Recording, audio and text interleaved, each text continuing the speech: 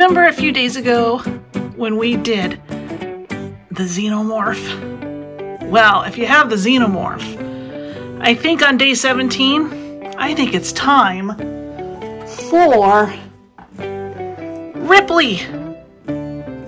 So is she like an officially a Disney princess now? Since Disney bought Fox, Fox on Alien, and Ripley is in Aliens, and Alien, and all the other ones. Look at her hair. Isn't that cute? Look at her little jacket. Can you see her little Nostromo patch?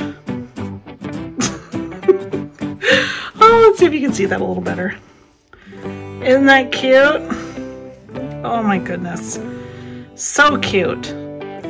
So here's Ripley, Ellen Ripley, from Alien. Possibly a Disney princess now. Fighting xenomorphs for, what, over 40 years now. So there we go. Thanks for joining me on 365 Days of Disney Plush. Talk to you tomorrow. Bye bye.